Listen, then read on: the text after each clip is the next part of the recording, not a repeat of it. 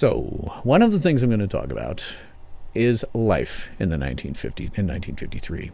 Now, I can start out by doing this by doing some simple stuff. I can tell you about costs of things in 1953. For example, the average cost of a new house was $9,550, which in today's dollars would be about $88,000. So, for a good house, probably doing better for your money back then.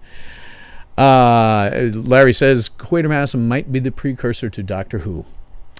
Yes, there are Whovians who put the Quatermass experiment into the Whoniverse. That's what we call the universe in which Doctor Who resides. You know, Doctor Who, Torchwood, Sarah Jane Adventures, Unit, all those guys. Some fans like to consider this part of the Whoniverse. It's not really, but it, they consider it part of it. Now, in 1953, your average wages would be around $4,000 a year, which translated in modern, modern dollars is about $37,000, which is a bit lower than the modern median income. Now, a gallon of gas back then cost 20 cents. In 2018 dollars, that's $1.85. Clearly, you would be doing a hell of a lot better on gas costs back then.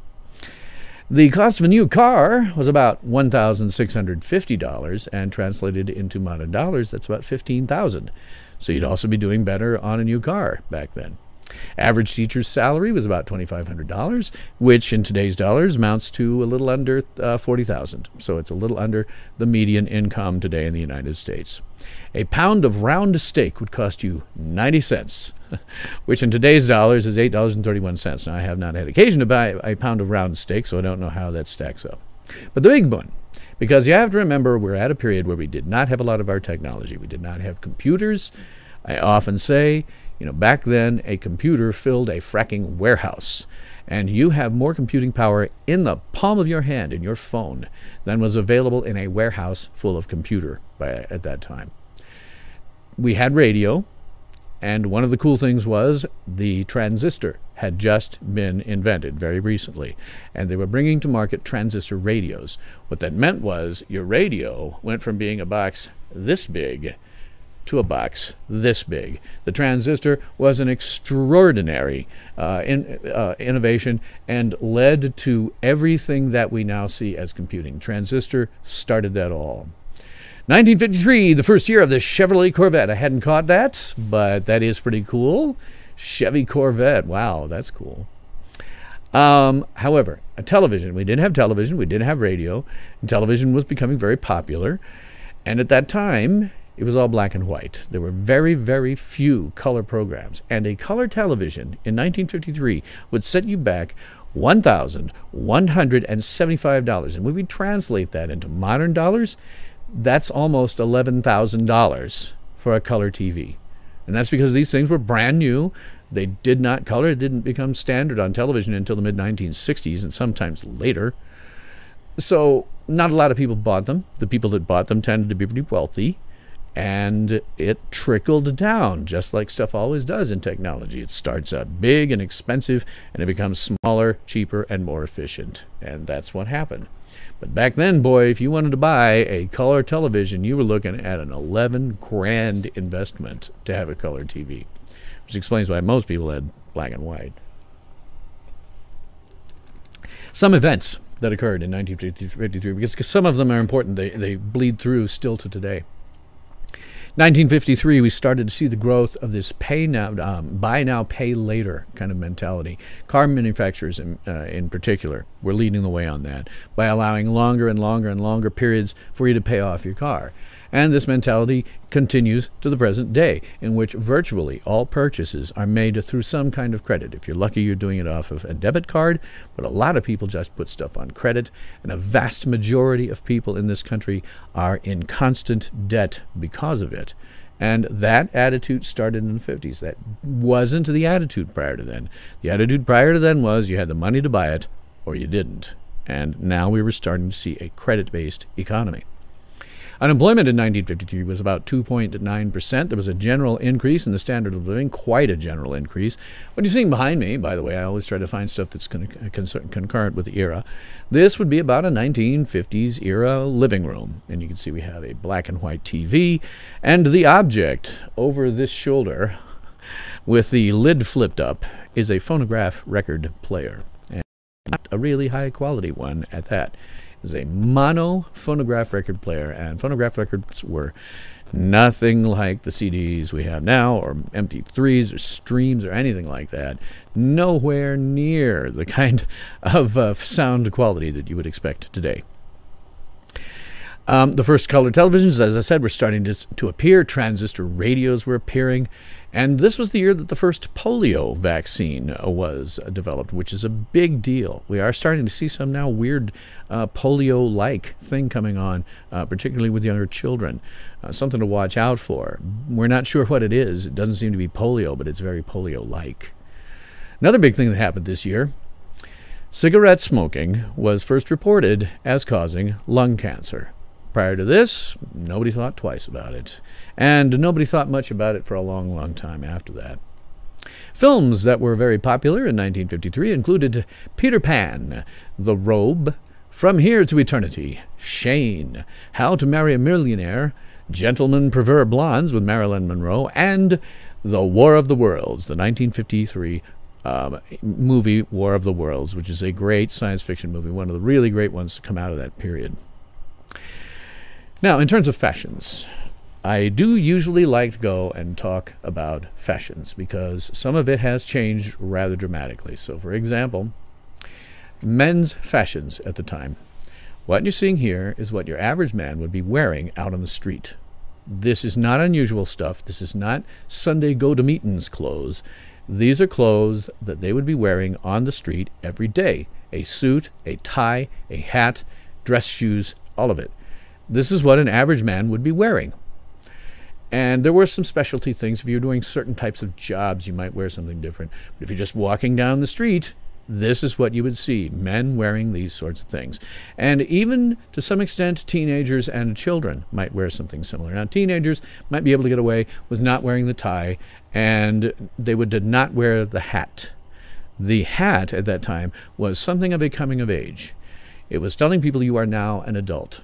You know, children did not wear hats. Adult men wore hats. Now, I do always, to some extent, talk about undergarments because, particularly with women, it often it, it often matters. In this case, men's undergarments were probably the same: socks, um, you know, boxers, uh, t-shirts, but really that was about all they had to wear. Um, and again, this is what you always saw. These things were what you always saw men wearing: is a suit, a tie, a hat, dress shoes, and just looking nice. That's what they all wore. Into the 60s, suit and tie. Yeah, absolutely. Um, it did not go out of fashion until the hippies came along. Then there's women's fashions. And I got lucky enough, I got a nice color picture of a, numerous uh, uh, examples of women uh, and wearing clothes at that time. Now you can see, obviously, um, blouses and skirts, um, dresses, very colorful. You know, we see things from that period, we think of it all in black and white. No, it was not black and white, bright colors. And you have to remember here, um, notice that some of those skirts or dresses poof out at the bottom. Uh, Larry says, My dad wore black socks with garters. Yeah, that was one thing about socks. You know, today we have socks that are fitted in such a way that they, you put them on and they stay up all day. Back then, socks didn't stay up that way. You had to wear what were called little garter things on it, and you'll see that in a minute when it comes to the women. But men had it too for their socks. It had to be something that would strap around their legs, and then they would attach the socks to it with um, little clips, and it would hold the socks in place all day.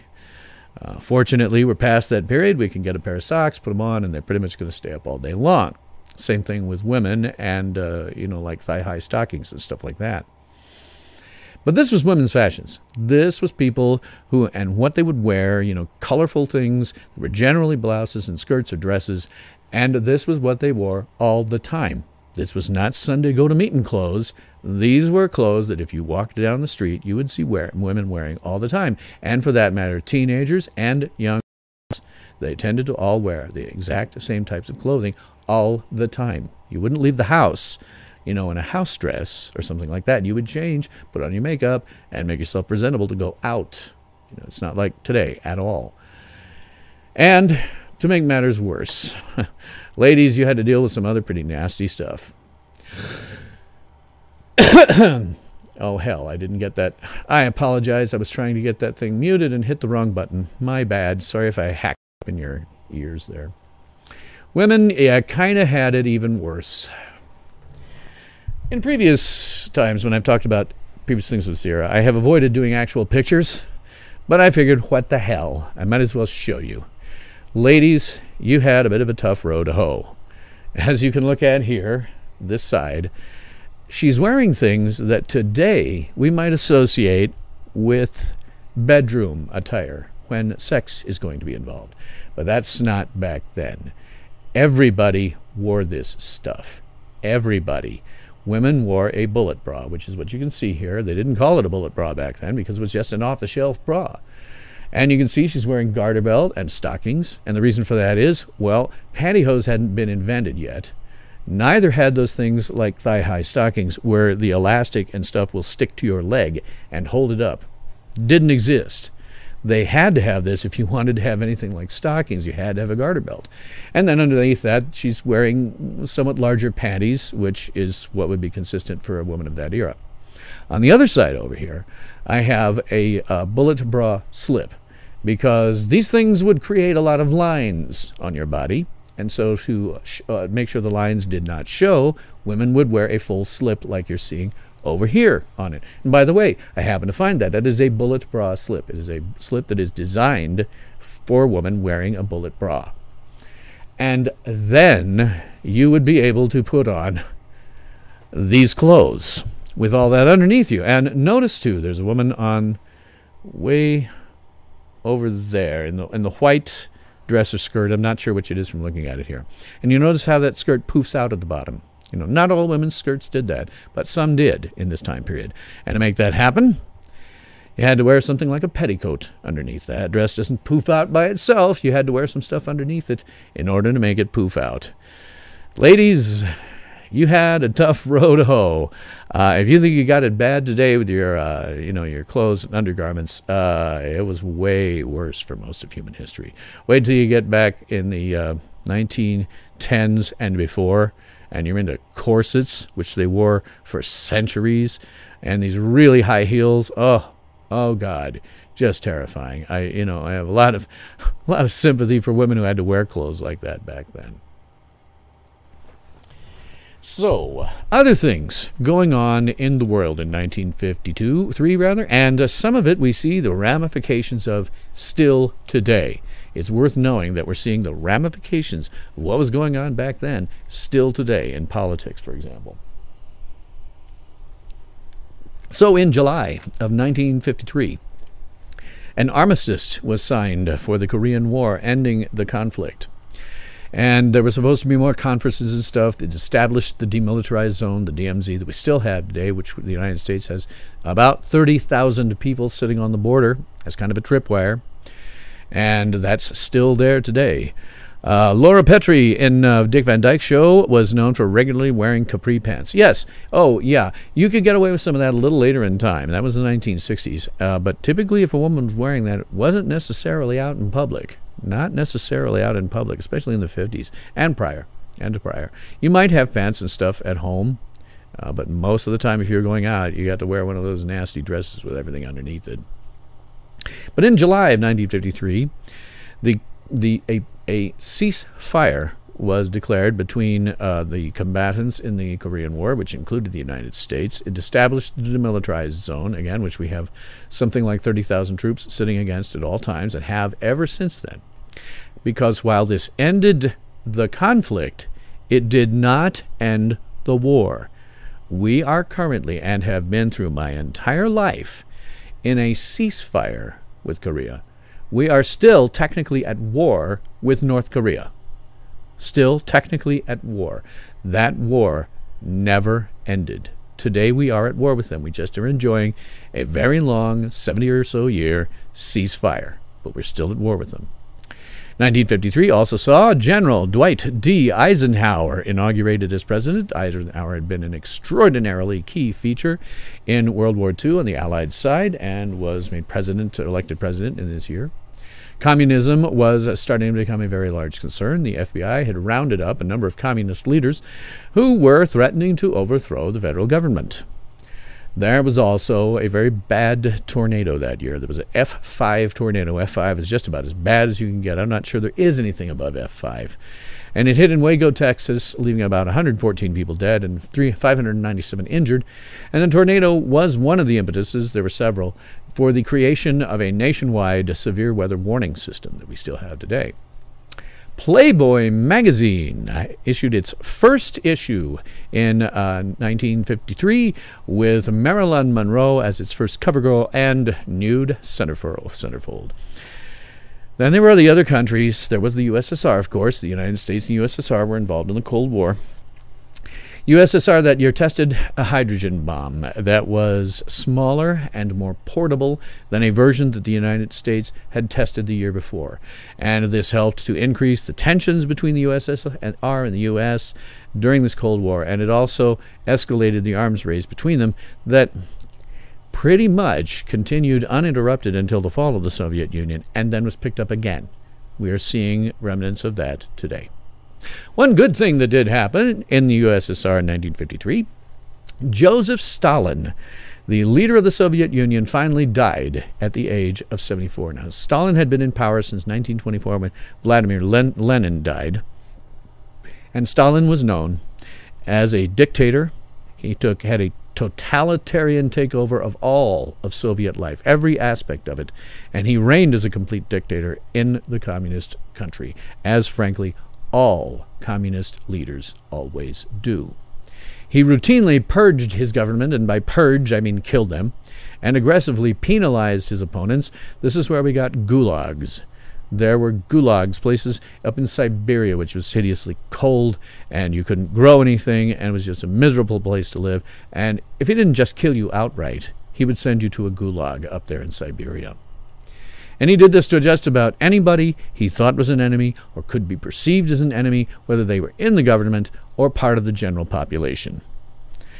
Uh, yes, Larry, Stalin killed more people than anyone. Yeah, I'm about to get into that. Because he's praised for helping defeat the Nazis in World War II, but he was also responsible for somewhere between 5 to 25 million of his own people's death, either through his direct involvement or as a result of his political and economic policies. Because you have to remember, communism and socialism always fail, and they kill millions of people in the process. In the last century alone, it killed over 100 million people. And if you want to look at how it's doing now, take a look at Venezuela, a once prosperous country that went socialist and is now in total decline, and its citizens can oftentimes barely find anything to eat. Stalin made Hitler look like a piker, and that's often overlooked in history books, particularly today. Stalin made Hitler look like a piker. After Stalin's death, Nikita Khrushchev became leader of the, uh, of the USSR, a guy who would go on to be leader of the USSR for quite some time. And he officially denounced Stalin's policies and began an era of reform called de-Stalinization. However, he still ruled as a dictator and still killed people and still sent them off to the gulag if they didn't um, fly right. And that is what all communist leaders always do. Even today, Vladimir Putin is a de facto dictator, and he does follow the, some of the same Stalinist tactics and policies of killing his rivals. Just does it all the time. Now, over in the UK, where this thing actually was airing, the Queen, uh, Queen Elizabeth II, was crowned Queen of England, and be aware that that was at Westminster Abbey because it factors into the uh, uh, the Quatermass experiment. And on May 29th, while it seems like a just absolutely routine thing anymore, the summit of Mount Everest was first reached by Sir Edmund Hillary and Tenzing uh, Norgay. Also in Britain, a British physicist and uh, Francis Crick and an American biologist, James Watson, discovered the double helix structure of DNA, kicking off an enormous amount of progress in medicine because of that. The uh, discovery of DNA was a huge, huge event in terms of scientific uh, knowledge. there was a very large storm, one of the one, largest ones. Sorry, I'm adjusting something over here, so maybe it isn't quite so loud. There was a largest storm in the United Kingdom. It was the biggest storm ever recorded. It broke through flood defenses all across the UK and left about 150 people dead. And then there is the UK, Iran, and the United States. And this one is where we see the fallout for it right up until the present day. Now, I got to go back a couple of years because this whole thing started really back in 1950. So in 1950, General Haj Ali Razmara became the Prime Minister of Iran. And in March of 1951, he was assassinated. Also in March of 1951, Mohammad Mossadegh, Mossadegh, Mossadegh uh, presented the idea of nationalizing the Anglo Iranian Oil Company to the Iranian par- parliament, and the Iranian parliament did eventually approve that. Now, you have to keep in mind that the Anglo Iranian Oil Company was in large part owned by Great Britain. So keep that in mind as we go through this. So in April 1951, Mossadegh was elected as Iran's new prime minister. Also in May, Britain then imposed an embargo on Iranian oil because they'd nationalized this industry. They'd taken it out of the hands of a, uh, uh, free market thing, well, more or less free, that uh, involved the British, and the British said, no, you don't either. So they put an embargo on Iranian oil, and they banned the exportation of goods to Iran as retaliation, and they also mobilized their navy as a show of force. In June of 1951, um, President Truman, at that time, tried to mediate the situation between them uh, without very little luck. And then Britain decided they were going to take legal action to, uh, against Iran to the International Court of Justice. But in July of 1951, the International Court of Justice ruled that they couldn't deal with this. This wasn't an international problem, this was a problem with a private company and Iran and outside of their jurisdiction. In 1952, then, Iran severed diplomatic ties with Great Britain, and then we get into 1953. There was a failed coup attempt against Mossadegh, which forced what we called the Shah of Iran, Shah Mohammad Reza uh, Pahlavi, to flee from Iran. I'm just going to call him the Shah because that's what we always called him growing up. And then in 1953, there was a successful coup against um, Mossadegh, and with the help of the U.S. Central Intelligence Agency, they returned the Shah to power in Iran, where he then ruled as a completely authoritarian dictator until a revolution happened in 1979 and he was kicked out. Keep that in mind. Part of the reason that Iranians hate us to this day in the United States is because we gave them a dictator for several decades. Now, he may have done some good things, but if you think about it, what if some other country came here and influenced us to the point where we actually got a dictator? Don't go, don't go talking to me about Trump. I'm talking about a real dictator, Stalin dictator. Kill you if you didn't go along with him. And that is part of the reason that why to this day Iranians dislike.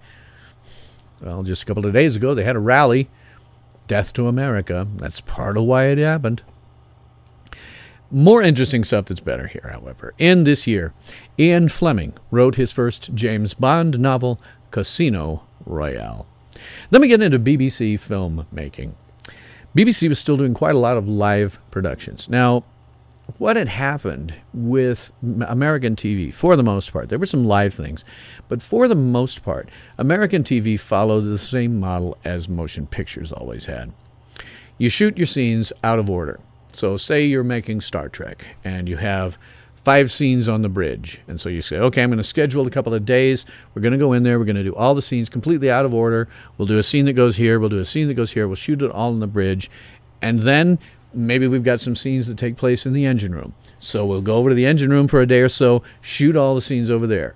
Maybe we have something in the transporter room. We go to the transporter room, shoot all the scenes that we're going to do in the script from there and then you edit it together to turn it into something coherent and hopefully dramatically effective.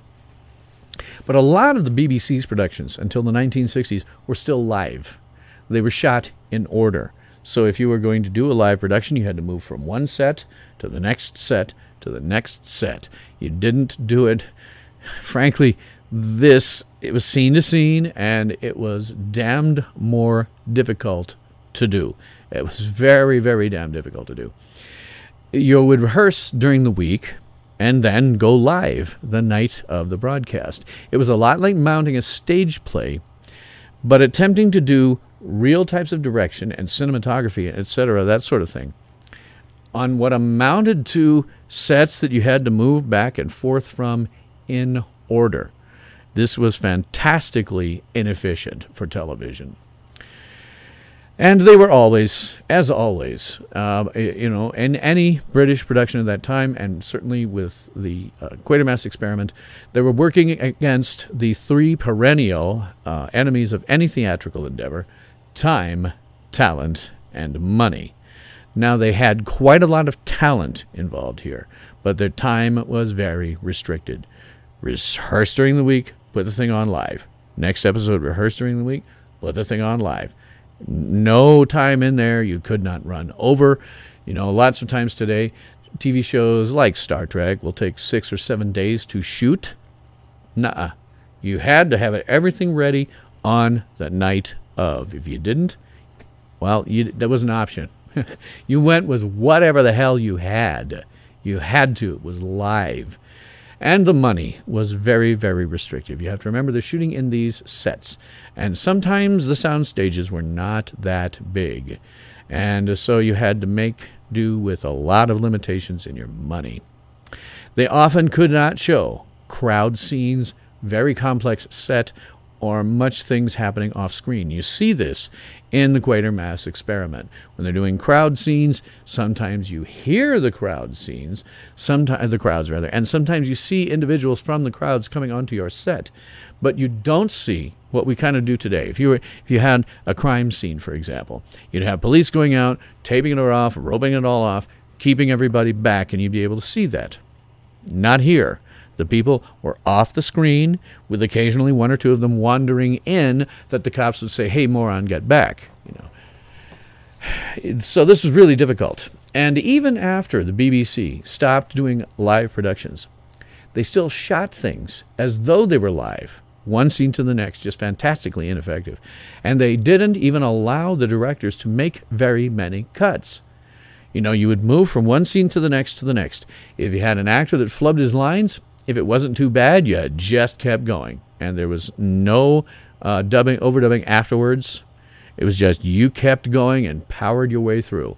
You could only get, I don't remember, maybe two or three cuts, and then you were in trouble with BBC. Maybe it was a question of them not having the editing material uh, way to do it. I don't know, but they kept doing that for quite a long time. And if you want to see this in action, I suggest you watch the BBC production An Adventure in Space and Time. This is a docudrama that chronicles Doctor Who from its earliest beginnings all the way up through the end of the first Doctor's era, the, the, um, uh, the, that first Doctor, until Patrick Troughton took on the role. And it's a great one from that perspective because you can see how the director is doing things, how he's operating under severe limitations, how he isn't allowed to cut if the actors screw their lines up. You can't cut too much. You just have to power through it and forget about it. If somebody screws up backstage with some door, which happens in that thing, you just power through it and hope for the best. Try to get your cameras in a position where you don't see wherever the frack up is going on uh, An Adventure in Space and Time is a really, really good um, docudrama for watching that stuff. It's great.